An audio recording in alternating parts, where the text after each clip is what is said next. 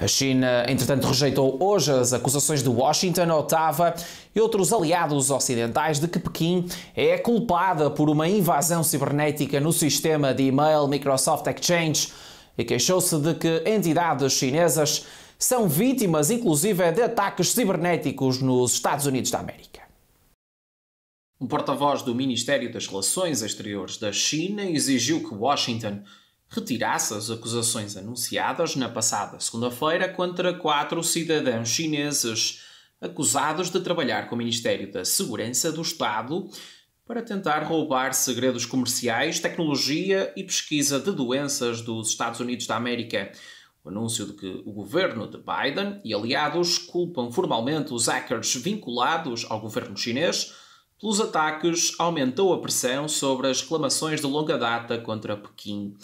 mas não incluiu quaisquer sanções.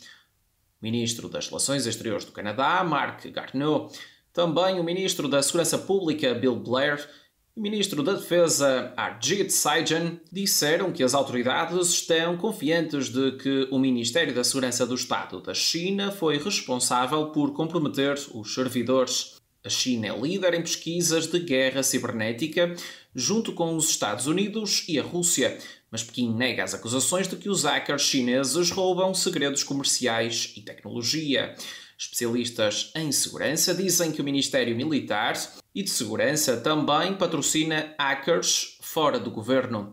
A Microsoft Corporation culpou os espiões chineses pelos ataques ao Microsoft Exchange, que comprometeu dezenas de milhares de computadores em todo o mundo.